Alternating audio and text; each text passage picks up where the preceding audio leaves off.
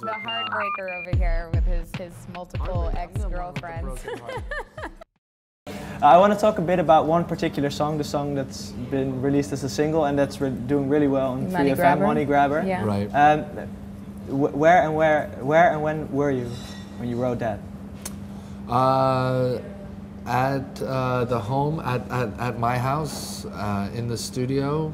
Uh, you know, I always come from a place of writing a, a keyboard part at first, uh, with and I'm humming something that's coming from deep within. I'm not even sure what the words might or might not be.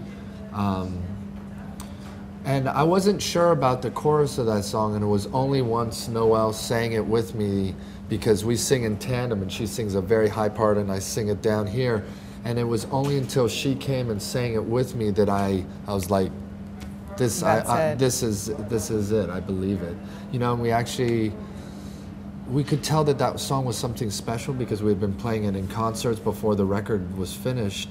Um, but we originally had another bridge entirely to Yeah, the it was song. completely different uh, that just didn't feel like it lived up to the same level as the other song. And we tried, I think, three or four different versions of the the, the bridge till we finally came down with that countdown part. And as soon as we had that, then the whole song just felt complete and like we could uh, we could put it on the record. That's a rather classic thing, that count, that counting. Yeah, Yeah. it kind of, it's funny because when we were doing it, I was like, that sounds just like the Jackson 5. Like, it, like it has that like kind of like A, B, C, kind of like one, two.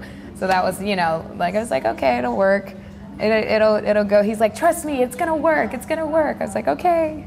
We do it, and every time And we now do we it live, now live, everybody everyone sings goes it. crazy. Yeah, it's fun. So counting is good. we like counting. We like counting. Uh, what, what, what is the exact definition of a money grabber?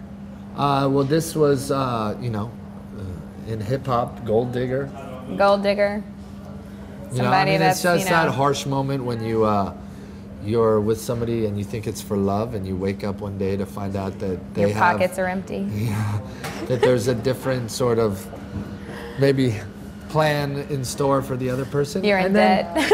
and this was something that we didn't anticipate with it, but once the record came out, given the economic turmoil that we're having and the greed of banks and stock market and all this cr- uh, crazy economic things that are happening and the amount of greed, I think people also have adopted it as a as a mantra against greed in in government in the bank system and and it's ha- taken on this larger meaning.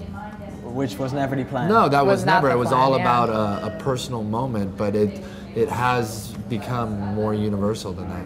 And who is the person you are waving goodbye? Oh well, she knows who she is.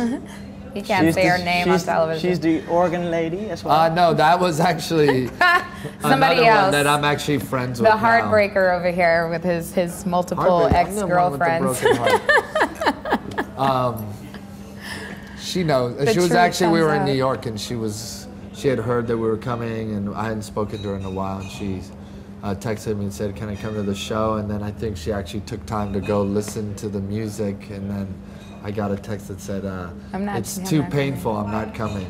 And I was like, "Okay." so she knew. Yeah, she Knew knew was when she heard that song. She knew. But what- did you tell her it was about her? No, but she knew. Okay. She, She knew. knew. Can you already pinpoint what that, that song has done for you so far? Yeah, I mean it's it's you know it's it's created a lot of momentum, especially in the states. Uh, for us, I never thought we would receive a lot of attention on radio because radio is quite difficult in the states. It's not as open as it is uh, overseas, and uh, we were actually able to get a lot of radio stations behind playing the song. We've been climbing the charts there. Um, It's got a kind of infectious vibe to it. You know, it's like most people that had heard it maybe once could remember the melody and. You know, it's just it's one of those songs, and it's not to say like a lot of our songs have that you know kind Quality, of yeah. thing about them, um, but this one, you- for instance, you know how every band has at least you know one or two up their sleeve. Hopefully, this has been the one so far.